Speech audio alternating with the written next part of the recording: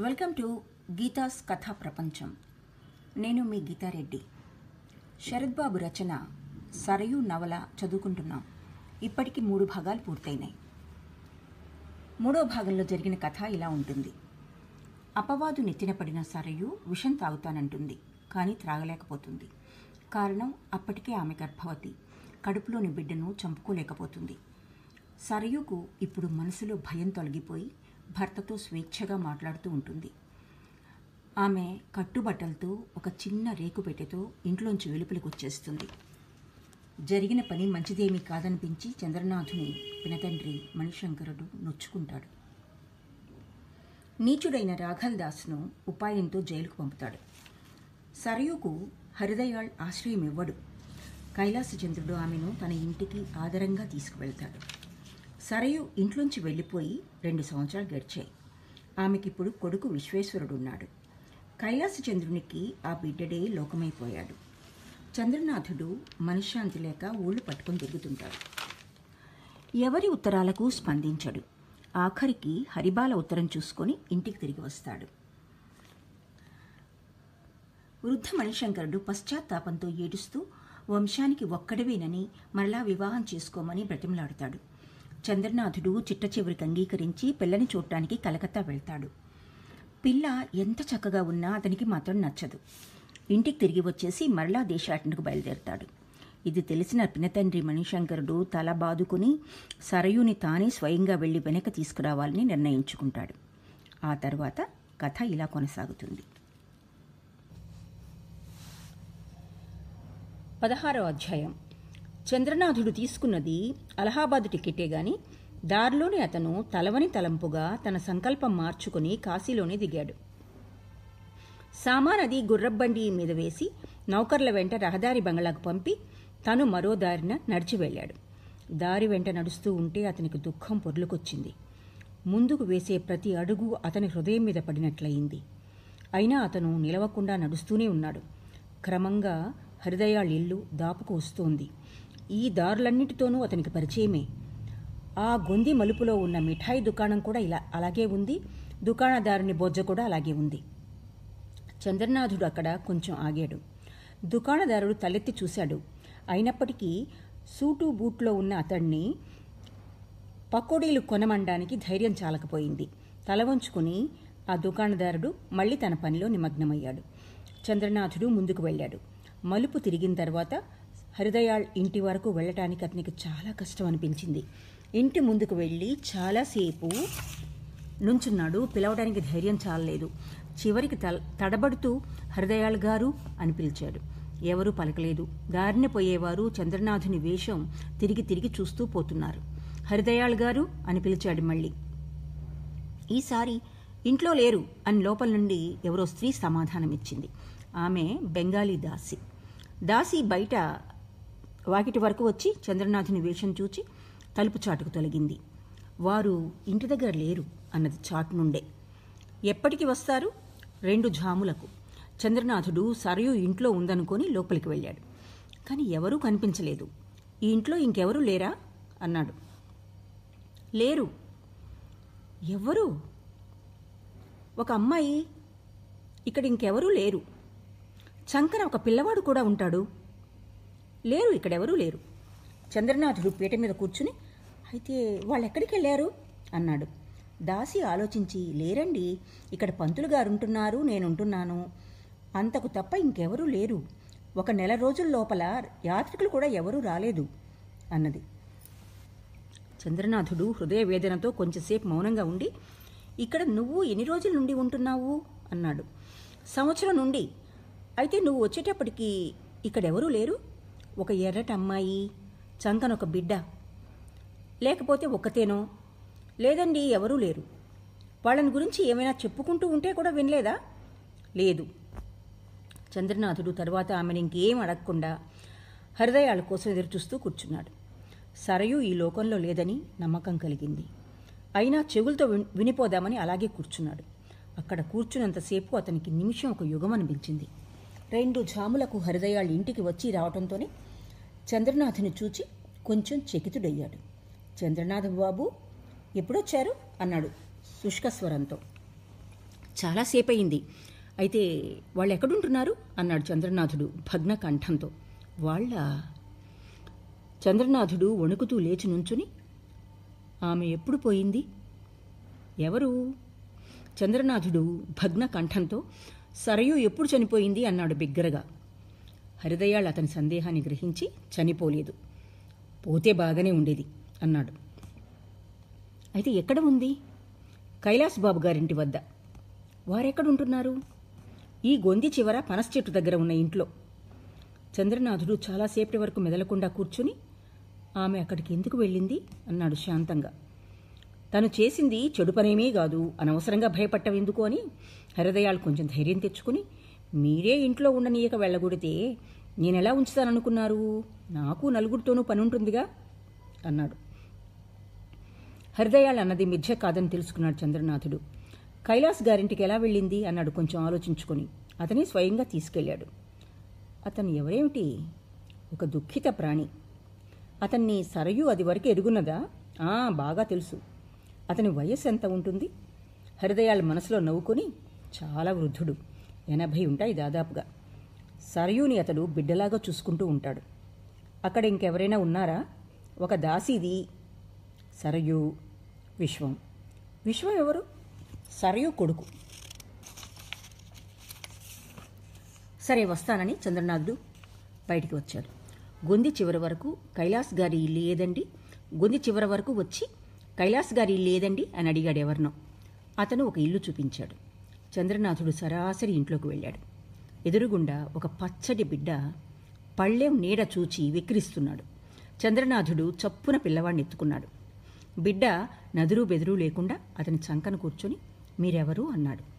చంద్రనాథుడు చాలా ప్రేమి ప్రేమతో అతని చెక్కిలి ముద్దెట్టుకుని నేను నాన్నని అన్నాడు.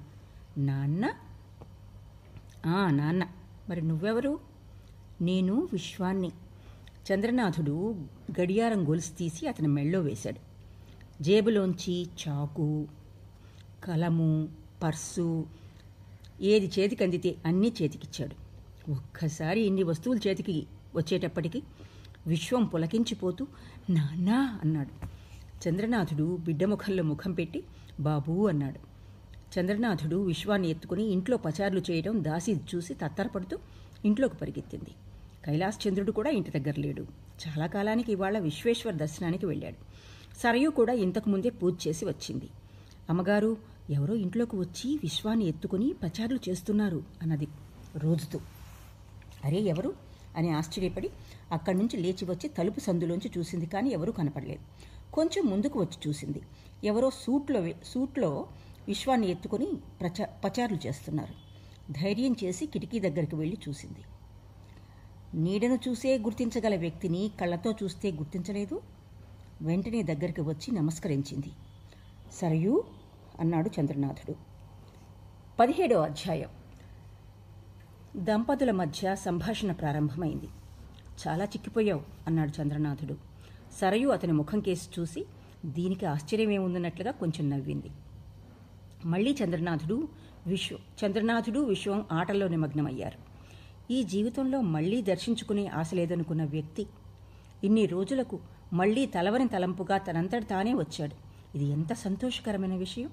ఎంతో ఉప్పొంగిపోవలసిన విషయం. కానీ సరయులో అవేమీ కనిపించలేదు. తన భర్త నిత్యం వస్తున్నాడు.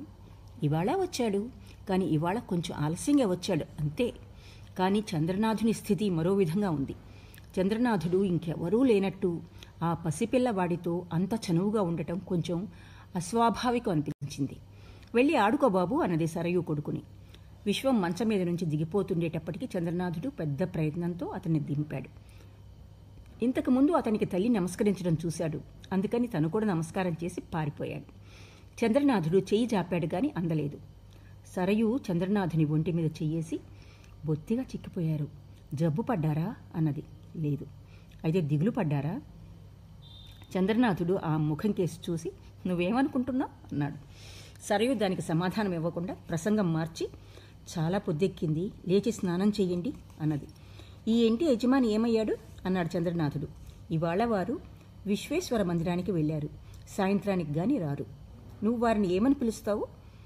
ఎప్పుడూ తాత అని పిలుస్తుండేదాన్ని. ఇప్పుడు అలాగే పిలుస్తున్నా. చంద్రనాథుడు ఇంకేం అడగలేదు. వెంట ఇంకెవరే వచ్చారు? అన్నది సరయు. హరి మధు ఇద్దరు వచ్చారు. వాళ్ళని రహదారి బంగళాలో ఉండమని చెప్పాను. ఇక్కడికి తీసుకురావడానికి ధైర్యం చాలకపోయిందా? చంద్రనాథుడు మాట్లాడలేదు. చంద్రనాథుడు భోజనానికి కూర్చున్నాడు. సరయు పళ్ళెంతో ఫలహారం తీసుకువచ్చి అతను ముందర పెట్టింది. చంద్రనాథుడు అయిష్టతతో పళ్ళెం అవతలకి నెట్టి పరిహాసం ఆడుతున్నావా? అన్నాడు. సరయు కొంచెం అప్రతిభురాలై తినరా ఏమిటి? అన్నది మలినవదనంతో. చంద్రనాథుడు కొంచెం సేపు సరయు ముఖం కేసి చూసి నేను ఎప్పుడైనా ఈ వేళప్పుడు పలహారం తీసుకున్నానా? అన్నాడు. సరయు మనసులో చాలా చింతపడి మాట్లాడకుండా ఊరుకుంది. నువ్వు నాకు వడ్డించడం ఇవాళే కొత్త కాదుగా? నేను ఎప్పుడు ఏం తినేది? అప్పుడే మర్చిపోయావా? సరయు కళ్ళల్లో నీళ్ళు తిరిగాయి. ఇప్పుడు ఆ రోజులు చాలా దూరమైపోయాయి అనుకుంది. అయితే అన్నం పెట్టుకురమ్మంటారా కానీ కానీ చల్లారిపోయిందా? లేదు లేదు. ఇక్కడ వంట చేసేది నేనే. ఇంటి దగ్గర కూడా నువ్వే చేసేదానివి కదా. సరయు కొంచెంసేపు ఆగి నేను చేసిన వంట మీకు పనికొస్తుందా? అన్నది. చంద్రనాథుడు తల వంచుకుని మెదలకుండా కూర్చున్నాడు. ఇంతవరకు అతనికి సరయు పరాయిదైపోయింది. ఆమె చేతి అన్నం తినకూడదన్న సంగతే జ్ఞాపకం రాలేదు. నా కళ్ళ నీరు చూస్తే గాని నీకు తృప్తి కలగదా? అన్నాడు కొంచెంసేపు ఉండి సరయు చివ్వున లేచి నుంచుని సరే అన్నం పెట్టుకొస్తాను అని లోపలికి వెళ్ళిపోయింది. లోపలికి వెళ్ళి చాలాసేపు దుఃఖించింది. కన్నీళ్ళు తుడుచుకుని మొహం కడుక్కుంది. కానీ కన్నీటి ధారలు మాత్రం ఆగలేదు. మళ్ళీ కళ్ళు తుడుచుకుని పళ్ళెంలో అన్నం పెట్టుకుని వచ్చి భర్త ముందర పెట్టి ఎదురుగా కూర్చుంది. అతను భోజనం చేసిన తర్వాత ఎంగిలి పళ్ళెం తీసుకుని మళ్ళీ ఒకసారి మనసారా ఏడవటానికి వంటింట్లోకి వెళ్ళిపోయింది. రెండు గంటలవుతుంది. విశ్వేశ్వరుడు చంద్రనాథుని ఒళ్ళో పడుకొని నిద్రపోయాడు. ఇంతలో సరయు వచ్చింది. పనంతా అయిపోయిందా? అన్నాడు చంద్రనాథుడు. తాత ఇంకా రాలేదు. తర్వాత సరయు ఇంటి సంగతులు తీసుకువచ్చింది. కుటుంబం సంగతులు కాళీ దంపతుల విషయాలు దాసదాసి దాసీల సమాచారాలు అన్నీ ఒక్కొక్కటే అడిగి తెలుసుకుంది. ఆఖరికి మీరు వివాహం ఎక్కడ చేసుకున్నారు? అన్నది సరయు తలవని తలంపుగా. పడమట అన్నాడు చంద్రనాథుడు. వధువు ఎలా ఉంటుంది? మంచమ్మాయేనా? నీలాగే ఉంటుంది. ఈ మాటతో సరయు హృదయంలో ఒకలాంటి చెప్పలేని వేదన కలిగింది. సంభాళించుకోలేక కూర్చున్నది కూర్చున్నట్లే పడిపోయింది. ముఖం వివర్ణమైపోయింది. చంద్రనాథుడు గాభరాతో గబగబ మంచం మీద నుంచి లేచి వచ్చి చేయి పుచ్చుకుని లేవదీపోయాడు కానీ లేవలేదు. ఆమె పూర్తిగా స్పృహ తప్పి పడిపోయింది. అప్పుడు అతను ఆమె తల తన ఒళ్ళోకి తీసుకుని సరయూ సరయూ అని ఏడవటం మొదలుపెట్టాడు. సరయూ కళ్ళు తెరిచి క్షణంసేపు భర్త ముఖం కేసి చూసి మళ్ళీ కళ్ళు మూసుకుంది. ఆమె పెదవులు వణుకుతూ అస్పష్టంగా ఏదో అన్నాయి. చంద్రనాథుడు చాలా భయపడి తడబడుతూ కేకలేశాడు. దాసీది వెంటనే నీళ్ళు తీసుకొచ్చింది. కానీ ఆమె సరయును చూసి చంద్రనాథుడు భయపడినట్టుగా గాభరా పడలేదు. భయపడద్దు కొంచెంసేపటికి తెలివి వస్తుంది బాబుగారు. అప్పుడప్పుడు ఇట్లాగే వస్తూ ఉంటుంది అన్నది. దాసీది సరయు ముఖం మీద నీళ్ళు చల్లింది విసనకర్రతో విసిరింది. విశ్వం వచ్చి తడి జుట్టు పట్టుకుని లాగుతూ అమ్మా అని పిలవసాగాడు. సరయుకి కొంచెంసేపటికి తెలివి వచ్చి సిగ్గుతో బయట సర్దుకుంటూ లేచి కూర్చుంది. దాసి మళ్ళీ తన పనికి పోయింది. భయంతో చంద్రనాథుని ముఖం వివరణమవటం చూసి నవ్వుతూ భయపడ్డారా అన్నది. చంద్రనాథుని కళ్ళల్లో నీళ్ళు తిరిగాయి. చివరి ఘడియలు అనుకున్నాను అన్నాడు కన్నీళ్ళు తుడుచుకుంటూ. నా తల మీ ఒళ్ళో ఉంది. ఈ నిర్భాగ్యురాలి ముఖాన అంత మాత్రం రాసి ఉంటే ఇంకేం అనుకొని నాకు అప్పుడప్పుడు ఇలాగే వస్తూ ఉంటుంది అన్నది పైకి. అదే ఆలోచిస్తున్నాను. మునుపు లేదు అని చంద్రనాథుడు చాలాసేపటి వరకు మెదలకుండా కూర్చున్నాడు. తర్వాత జేబులోంచి తుప్పు పట్టిన తాళపు చెవుల గుత్తి సరయు పైట్ చెంగుకు ముడివేస్తూ ఇవిగో తాళపు చెవులు నాకు ఇచ్చి వచ్చావు. మళ్ళీ నీవు నీకు ఇస్తున్నాను ఎప్పుడైనా వీటిని వాడానేమో చూడు అన్నాడు. సరయు తాళపు చెవుల గుత్తి చేత తీసుకుని ఆమె కిందికి ఇవ్వలేదు అన్నది. చంద్రనాథుని శుష్క వదనం మీదకి ఒక్కసారి నవ్వు వచ్చింది. ఆమెకేగా ఇచ్చింది? అన్నాడు. సరయుకి అర్థం కాలేదు. కొంచెంసేపు భర్త ముఖం కేసి సందిగ్ధ దృష్టితో చూసి నేను నవవధువు సంగతి చెబుతున్నాను. ఆమెకెందుకు ఇవ్వలేదు అన్నది కోమల స్వరంతో చంద్రనాథుడు ఇక సంభాళించుకోలేక సరయుని దగ్గరికి లాక్కుని కౌగలించుకున్నాడు. నవవధువుకే ఇచ్చాను సరయు నాకు ఇద్దరు భార్యలు లేరు. ఉన్నది ఒక్కతే. ఆమె ఎప్పుడూ నవవధువే అన్నాడు. సంధ్యాదీపం వెలిగించి కొడుకుని చంకనేసుకుని మీరు తాతగారిని కలుసుకుంది మాత్రం వెళ్ళవద్దు. ఈ రాత్రికి ఇక్కడ ఉండండి అన్నది సరయు. నేను అదే అనుకుంటున్నాను. ఇవాళ వెళ్ళటానికి వీలు పడినట్లుంది అన్నాడు చంద్రనాథుడు. సరయు చాలాసేపటి నుండి భర్తతో ఒక మాట చెప్పాలనుకుని సంశయిస్తూ ఊరుకుంది. చివరకు ధైర్యం చేసి మీకు రాద్దామనుకున్నాను అన్నది. ఎందుకు రాయలేదు? సరయు చాలాసేపు ఆలోచించి మీకేమైనా కోపం వస్తుందేమోనని భయమేసింది. అయితే మీరు మళ్ళీ ఇక్కడికి ఎప్పుడు వస్తారు? అన్నది. నువ్వు ఎప్పుడు రమ్మంటే అప్పుడు. సరయు చాలాసేపటి నుండి భర్తతో ఒక మాట చెప్పాలనుకుంటోంది. అప్పుడు ఆఖరికి ఇప్పుడు చెప్పలేకపోతే ఇంకెప్పటికీ చెప్పలేనేమో. మళ్ళీ వస్తారో రారో. ఒకవేళ వచ్చినా అప్పటికి నా కాయం కాష్టంలో కలిసిపోవచ్చు అనుకొని ఈ విధంగా ఇంక నేను జీవించదలుచుకోలేదు అన్నది. చంద్రనాథుడు ఇది పరిహాసంగా అన్నమాట కాదని గ్రహించాడు. సరయు ముఖం మళ్ళీ వివరణమవడం చూసి సరయు నీకేమైనా జబ్బు చేసిందా? అన్నాడు. ఏమీ లేదు. అప్పుడప్పుడు గుండెల్లో కొంచెం నొప్పిగా మాత్రం ఉంటోంది. మరి ఈ మూర్ఛ? ఇదేం జబ్బు కాదు. కొంచెంసేపు ఉండి నేను ఒక భిక్ష అడుగుతాను ఇస్తారా? అది నా స్వార్థమేమీ కాదు. నా మరణ వార్త విన్న తర్వాత ఒకసారి వచ్చి బిడ్డను తీసుకెళ్ళండి అని విశ్వేశ్వరుణ్ణి అతని పాదాల దగ్గర కూర్చోబెట్టింది సరయు. చంద్రనాథుడు ఉద్వేగంతో విశ్వేశ్వరుణ్ణి ఎత్తుకొని ముద్దెట్టుకున్నాడు. ఇంతలో బయట నుండి నాయనా విశ్వం అని కైలాసచంద్రుడు పిలిచాడు. విశ్వేశ్వరుడు తండ్రి చంక నుండి దిగి తాత అని పరిగెత్తాడు. వారు వస్తున్నట్లున్నారు. అని సరయు లేచి నుంచుంది.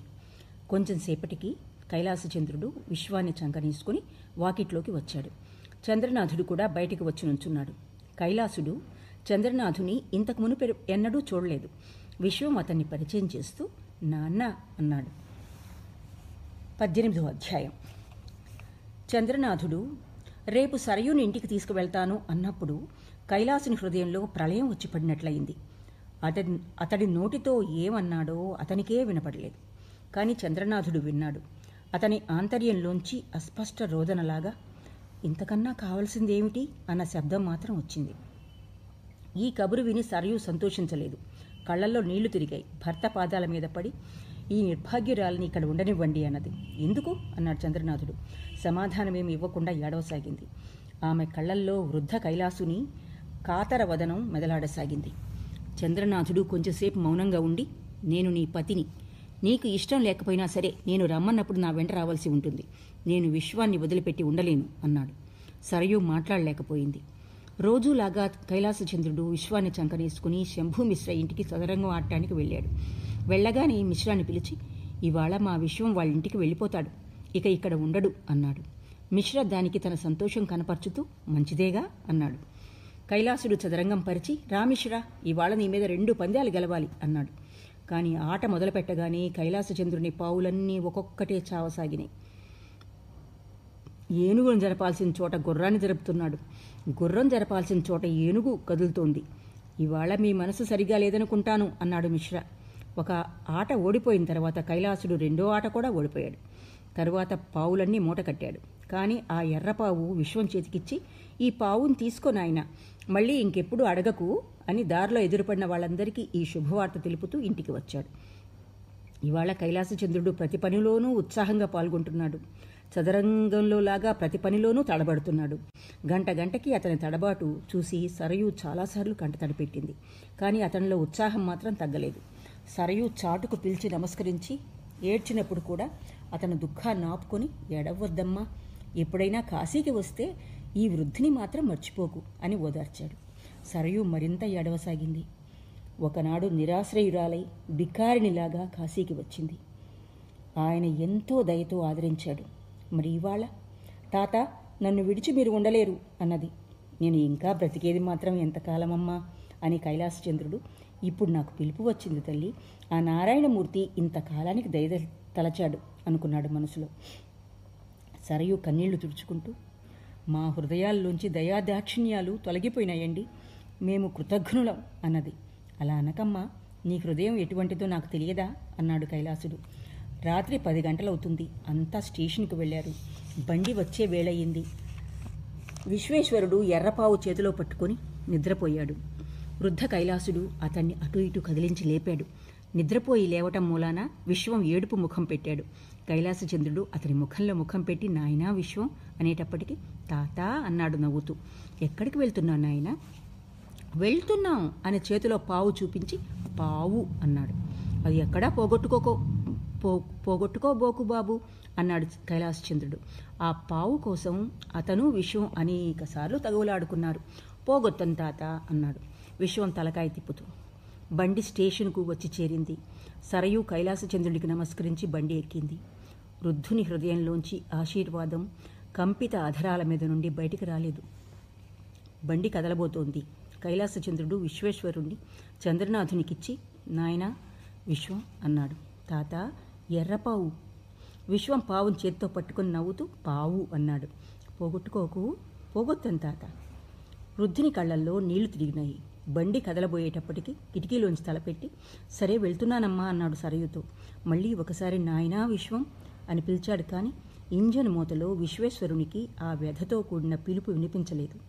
కైలాసచంద్రుడు బండి కనుమరుగు దాటిపోయిన తర్వాత అడుగులో అడుగు వేసుకుంటూ ఇంటికి తిరిగి వచ్చాడు. పంతొమ్మిదో అధ్యాయం. పినతండ్రి మణిశంకరుని మాటలతో చంద్రనాథుని భయం కాస్తా పోయింది. పాపానికి ప్రాయశ్చిత్తం చేస్తారు. పాపం చెయ్యని వారికి ప్రాయశ్చిత్తం ప్రాయశ్చిత్తం చేసే అవసరమేముంటుంది? దీనిలో సరయు పాపమేమీ లేదు. అనవసరంగా ప్రాయశ్చిత్తమని ఆవిడను అవమానపరచుకో అన్నాడు.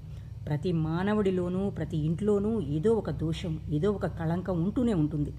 మానవుడు తన దీర్ఘ జీవితంలో ఎంతో ప్రయాణం చేయవలసి ఉంటుంది.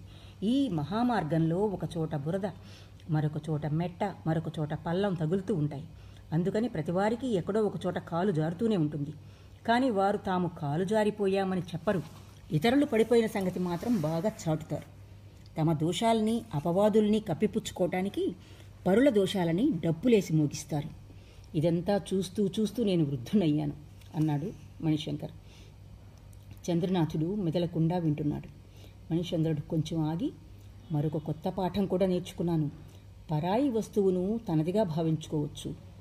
తనదాన్ని పరాయిదానిగా భావించవచ్చు కానీ తనదైన తనదాన్ని ఎప్పుడైనా ఎవరైనా పరాయిదానిగా చేయగలరా? ఇంతకాలం వరకు నేను అంధుణ్ణి. ఇవాళ విశ్వం నాకు దృష్టి ప్రసాదించాడు. అతని పుణ్యం వల్ల జ్ఞానోదయం కలిగింది. పౌర్ణమి రోజున ఊరందరినీ భోజనానికి పిలుద్దాం అనుకుంటున్నాను. మునుపు అన్నయ్యే అన్ని కార్యకలాపాలు చేయించేవాడు. నేను ఇంతవరకు ఏ శుభకార్యము చేసి ఎరుగను. అందుకని విశ్వానికి మళ్ళీ అన్నప్రాశన చేయించదలిచాను అన్నాడు. చంద్రనాథుడు కొంచెంసేపు ఆలోచించి కానీ సంఘం అన్నాడు. మణిశంకరుడు నవ్వి సంఘం అంటే ఎవరు? నువ్వు నేనును. ఎవరి దగ్గర ధనం ఉంటే వాడే సంఘానికి పెద్ద. నేను తలుచుకుంటే నీ కులాన్ని భ్రష్టం చేయగలను. నువ్వు తలుచుకుంటే నన్ను కులంలోంచి వెలివేయవచ్చును. సంఘానికి భయపడే అవసరమేమీ లేదు. నీకు ఇంకో విషయం చెబుదాం అనుకుంటున్నాను నీకు రాఘల్ దాస్ విషయం ఏమైనా జ్ఞాపకం ఉందా? అన్నాడు. ఆ హృదయాలు రాసిన ఉత్తరంలో అతన్ని గురించి చదివాను. మన కుటుంబంలో అపవాదులు ఏమైనా ఉంటే బయటకి పెట్టగలిగినవాడు అతనొక్కడే. కానీ ఇప్పుడు అతను ఎక్కడున్నాడో అంతులేదు. కొంతకాలం క్రితం అతన్ని జైల్లో పెట్టించాను. బయటికి కూడా వచ్చాడట అని మణిశంకరుడు రాఘల్ దాస్ విషయమంతా చంద్రనాథునికి చెప్పాడు. అతని కళ్ళల్లో నీళ్ళు తిరిగినాయి. పౌర్ణమి రోజున మణిశంకరుడు ఊరందరినీ భోజనానికి పిలిచాడు. ఊళ్ళో ఒక్కడు కూడా నోరెత్తినవాడు కనపడలేదు. ఇదంతా చూసి చంద్రనాథునికి లేనిపోని అపవాదు వచ్చిందనుకున్నారు లోకులు. ఖాళీ వేరే వండుకొని తిన్నది. ఇక వారు మాత్రం ఇక్కడ ఉండరు. తమ ఇంటికి వెళ్ళిపోతారు. ప్రాణం పోయినా ధర్మాన్ని కలుషితం చేయనంది కాళి చంద్రనాథుడు వారికి ప్రతి నెలా వంద రూపాయలు పంపేట్టు ఏర్పాటు చేశాడు. భోజనాలు ముగిసినాయి. గాన కచేరీ అయిపోయింది.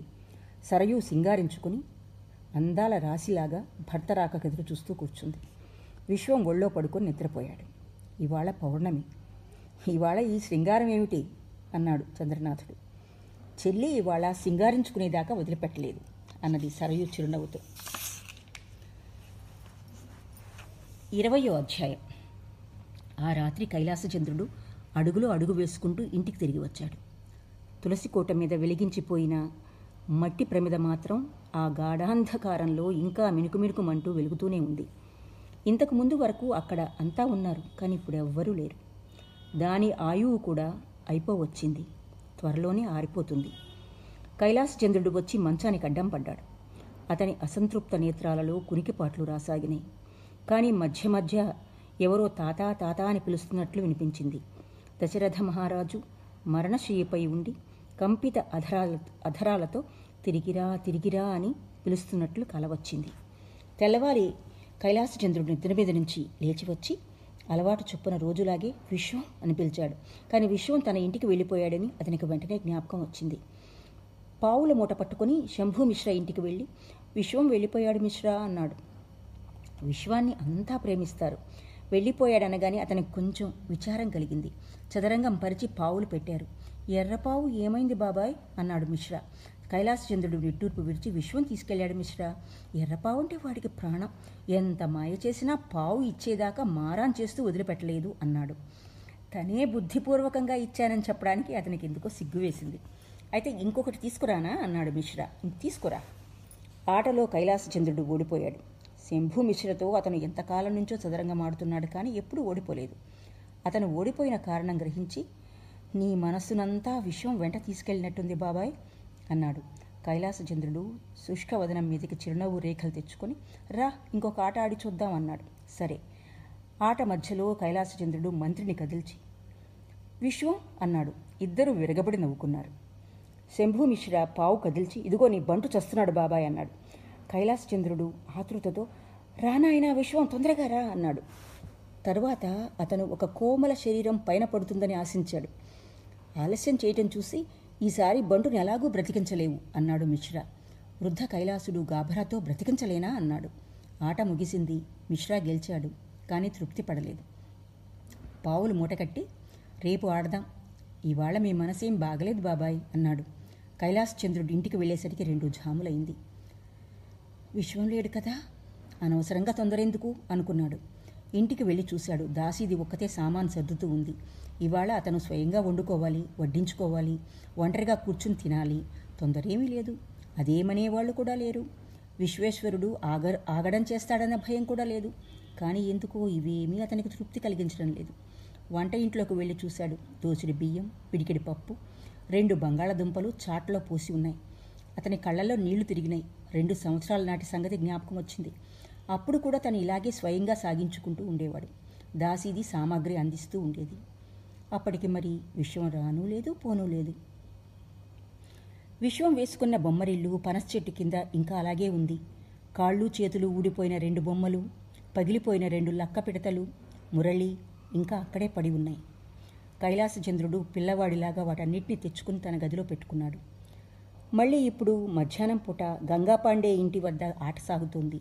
సాయంత్రం ముకుంద ఘోష్ గారి కచేరీలో మళ్ళీ జనం పోగవుతున్నారు కానీ ఇప్పుడు మునుపట్లాగా కైలాస్ చంద్రుణ్ణి పెద్ద ఆటగాడిలాగా లెక్క చేయటం లేదు. మునుపు అతను దిగ్విజయుడు. ఇప్పుడు ఆటగాళ్ళు అతను చేయి పట్టుకుని ఆట నేర్పిన వాళ్ళంతా ఇప్పుడు అతనికి ఎత్తులు చెప్పబోతున్నారు. తన పావు ఒక్కటి కూడా చావకుండా ఓడించిన వాళ్ళు ఇప్పుడు ఏనుగులను చంపి మరీ ఆట మొదలు పెడుతున్నారు. కైలాస్ చంద్రునికి ఇప్పటికీ కూడా ఆట ఆడాలని కుతూహలంగా ఉంది కానీ ఆ కీర్తి లేదు. ఇప్పుడు కూడా మంచి ఎత్తులు జ్ఞాపకం వస్తున్నాయి కానీ అవి సిగ్గుగా పరిణమిస్తున్నాయి. శంభు మిశ్రా ఇప్పటికీ కూడా అతన్ని గౌరవిస్తూనే ఉన్నాడు. అతనికి ప్రతిద్వంద్వి అయి ఆట ఆడటం లేదు కానీ ఎత్తులు చెబుతున్నాడు ఇప్పుడు కైలాసచంద్రుని ఇంటి వద్ద కొంచెం గడబిడిగా ఉంటోంది. దాసి రోజు కోపగించుకుంటోంది.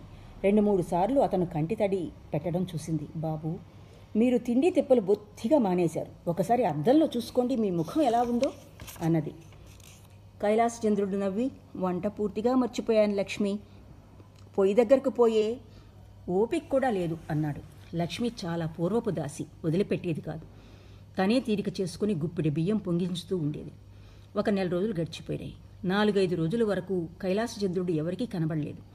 అందరికంటే ముందుగా శంభు మిశ్రాకు ఈ విషయం జ్ఞాపకం వచ్చి చూడటానికి వచ్చాడు. బాబాయ్ అని పిలిచాడు వాకిట్లో నుంచి.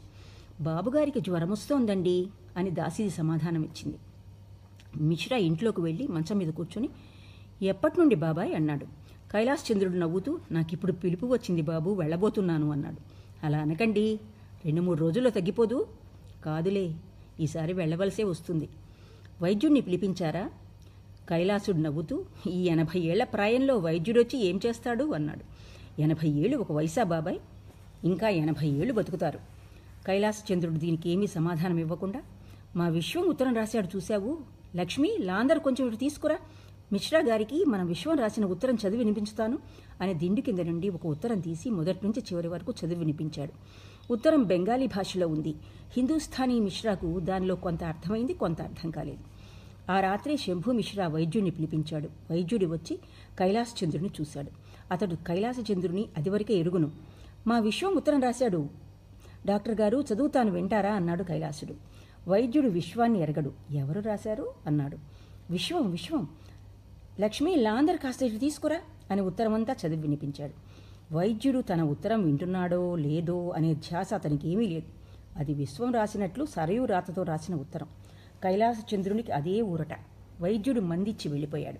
రెండు వారాలు గడిచిపోయినాయి. కానీ కైలాసచంద్రుని జ్వరం మాత్రం తగ్గలేదు. ఆ జ్వరంలోనే పొరుగు పిల్లవాడిని పిలిచి నేను బాగానే ఉన్నాను కానీ ప్రస్తుతం ఒంట్లో బాగుండలేదు అని ఉత్తరం రాయించాడు. కైలాసచంద్రుడు బతకడని తెలిసిన తర్వాత హృదయాలు కూడా చూడటానికి వచ్చాడు. కొంచెంసేపు పిచ్చాపాటి మాట్లాడుకున్న తర్వాత కైలాసచంద్రుడు దిండు కింద నుంచి ఉత్తరం తీసి హృదయాల చేతికిచ్చి చదువు నాయనా అన్నాడు. ఉత్తరం చాలా మాసిపోయింది కూడా. ఒకటి రెండు చోట్ల చిరిగిపోయింది కూడా. హృదయాలు ఉత్తరం చదివి ఇది సరయు రాత అన్నాడు. సరయు విశ్వానికి రాసిపెట్టింది ఆ కింద అతని పేరే ఉంది. కైలాసుడు ఈ మాటతో తృప్తి పడలేదు. వాడికి ఇంకా చదువు రాదు కాబట్టి సరయు రాసిపెట్టింది. చదువుకున్న తర్వాత వాడే స్వయంగా ఉత్తరం రాస్తాడు అన్నాడు. హృదయాలు మాట్లాడలేదు. కైలాసచంద్రుడు చాలా ఉత్సాహంతో చదివావా నాయన? వాడు నన్ను మర్చిపోతాడు అనుకున్నావా ఎప్పటికీ మర్చిపోడు. ఇప్పుడు కూడా తాత తాత అని ఏడుస్తూనే ఉంటాడు అన్నాడు. అతని కళ్ళల్లో నీళ్ళు తిరిగినాయి. లక్ష్మి దగ్గరే నుంచుని ఉంది.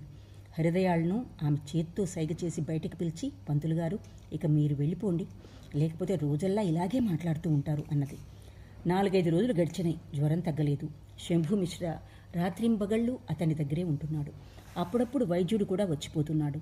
రోజల్లా మగతలో పడి ఉండి నాయనా విశ్వం నా పావు నాకు ఇచ్చేయి లేకపోతే ఆట సాగదు అన్నాడు. శంభు మిశ్రా దగ్గరికి వచ్చి ఏమిటంటున్నారు? అన్నాడు.